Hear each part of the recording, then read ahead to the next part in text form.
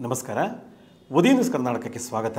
ಕಾಗೆಯೊಂದಗಳು ಕಂಡರೆ ಕೂಗಿ ಕರೆಯದೆ ತನ್ನ ಬಳಗವನ್ನೆಲ್ಲ ಎಂಬ ಮಾತಿದೆ. ಇದರಿಂದ ಕಾಗೆಯ ಮಹತ್ವ ಏನೆಂಬುದು ಅರಿವಾಗುತ್ತದೆ. ಪಿತೃಪಕ್ಷದ ಮಹಾಲಯ ಅಮಾವಾಸ್ಯೆ ಸಮಯದಲ್ಲಿ ಕಾಗೆಗೆ ಭಾರಿ ಡಿಮ್ಯಾಂಡ್. ಈ ಸಮಯದಲ್ಲಿಯೇ ಕಾಗೆಯನ್ನು ಏಕೆ ನೆನೆಸುತ್ತಾರೆ? ಈ ಕುರಿತು ಒಂದು ವರದಿ. ಕಾಗೆಯೊಂದು ಹಾರಿ ಬಂದು ಮರದ ಮೇಲೆ ಕುಳಿತುಕೊಂಡು ಬಾಯೊಳಿದ್ದ ಮಾಂಸವನ್ನು ತಿನ್ನತೊಡಗಿತು.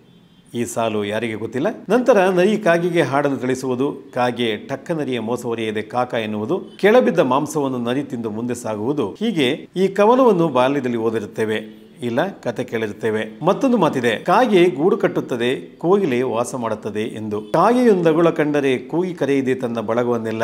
ಈ ಮಾತು ಕಾಗೆಯ ಕೂಡು ಕುಟುಂಬಕ್ಕೆ ಉತ್ತಮ ಉದಾಹರಣೆಯಾಗಿದೆ. ಇಂತಹ ಕಾಗೆಯ ಮಹತ್ವ ತಿಳಿಯುವುದು ಪಿತೃಪಕ್ಷದ ಮಹಾಲಯ ಅಮಾವಾಸ್ಯೆ ಸಮಯದಲ್ಲಿ. ನಮ್ಮ ನಗಲಿದ ಹಿರಿಯರಿಗೆ ಅವರಿಗಿಷ್ಟವಾದ ಊಟ ಖಾದ್ಯಗಳನ್ನು ಕಾಗೆಗೆ ತಿನ್ನಿಸಲಾಗುತ್ತದೆ ಕಾಗೆ ಇಂತಹ ಆಹಾರವನ್ನು ತಿಂದರೆ ಹಿರಿಯರಿಗೆ ಸಂತೃಪ್ತಿಯಾಯಿತು ಎನ್ನುವ ನಂಬಿಕೆ ಇದೆ. ಅಗಲಿದ ಹಿರಿಯರು ಪಿತೃಗಳು ಕಾಗೆಗಳ ರೂಪದಲ್ಲಿ ಬರುತ್ತಾರೆ ಎಂಬ ಮಾತು ಇದೆ. ಗಮನಿಸಿ ಇನ್ನಾವುದೇ ಪಕ್ಷಿಗೂ ಇಂತಹ ಉಪಚಾರವಿಲ್ಲ. ಹಾಗಾದರೆ ಕಾಗೆಗಳದ್ದು ಅಂತಹ ಹೀನ ಜನ್ಮವೇ ಅಲ್ಲ. ಇದಕ್ಕೆ ಇಲ್ಲಿದೆ ನೋಡಿ ಉತ್ತರ. ಪಿತೃಪಕ್ಷದ ಸಮಯದಲ್ಲಿ ಯಾರಾದರೂ ವಿಧಿವಶರಾದ ವೇಳೆಯಲ್ಲಿ ಕಾಗೆಗಳಿಗೆ ಪಿಂಡ ಬಿಡುವುದು ಹಿಂದಿನಿಂದಲೂ ಬಂದಿದೆ. ಆದರೆ ಕಾಗೆ ನಿಜಕ್ಕೂ ಶಿಸ್ತಿನ ಪಕ್ಷಿ.